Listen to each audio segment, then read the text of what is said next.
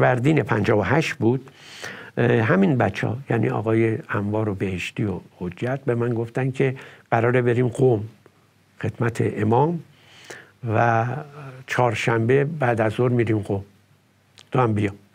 خب، طبیعی که منم میگم خوبه دیگه. نمی‌دونم قراره چه اتفاق بیفته ما بعد از ظهر رسیدیم قوم. وقتی که رسیدیم منزل امام امام بالای پشت بوم بودن.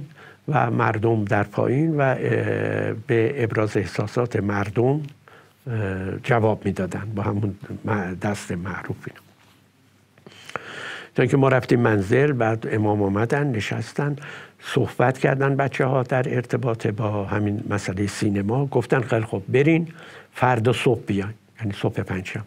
ما اتفاقا رفتیم توی شب جالبی بود در قوم.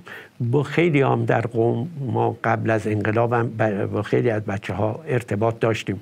طلاب جوان و طلاب قوم. شد صبح پنجشنبه رفتیم خدمت امام. وقتی که وارد شده میدیم که از در که اومدیم امام و مرحوم مهندس بازرگان رو کنار هم نشسته بودن. این طرف همه شورای انقلاب بودن همه ما رو میشناختیم هم دیگر شهید متحری شهید بهشتی مرحوم مهندس صحابی دکتر دکتر صحابی عرض کنم که اگه اشتباه نکنم آقای سباقی مهندس سباقیان و بودن همه.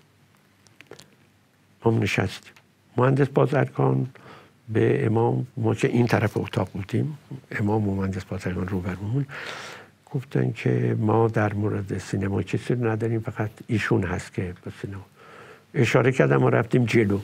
من یادمه که مثلا زانوی من و زانوی امام چند سانتی متر با هم مثلا یکی دو سانتی متر فاصله مهندس بازرگان توضیح داد. من گفتم که من روحیه اداری ندارم. مثلا نمی‌تونم. امام مثلا کاری به اینجور گفتن که تکلیف براتون برین.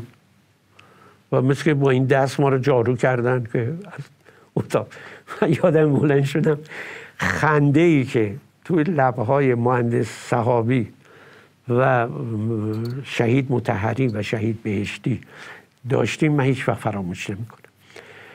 بعد از انقلاب قبل از این جریان اولین برخورد من با ما در نفرشاتو با شهید متحری خوب تو منظر امام برخورد داشتیم و صحبت های مختلفی. چون در لندن فیلم لیلت القدر رو می ساختیم در مدیم نفرشاتو فیلم می گرفتیم مصاحبه با امام غیره. بعد می رفتیم لندن. مرکز منتاجمون لندن بود. اونجا با مهند شهید متحری خیلی خاطرات خیلی خوبی در نفرشاتو بعد از انقلاب اسفند اواخر اسفند بود در تلویزیون. من از آسانسور اومدم پایین چون بچه همون همه تلویزیون بودن دیگه آقای انوار رو اینا همه بودن. من از آسانسور اومدم ساختمون نه طبقه آمدم بیرون. شهید متحری از در وارد شدن که برم به طرف آسانسور. تو این حال مرکز رو به رو هم قرار همدیگر رو بغل کردیم و گریه بعد شهید متحری گفتن که آقای نجفی یک ملت منتظرم ببینن بر اونا چه می‌کنید. من تا دم آسانسور هم شهید متحری رفتیم ایشون سوار آسانسور شدن من آمدم بیرون. برخورد بعدیمون تو شورای انقلابه و اون خنده توجه می‌کنین همشون می‌دونستن که روی اداری ندارم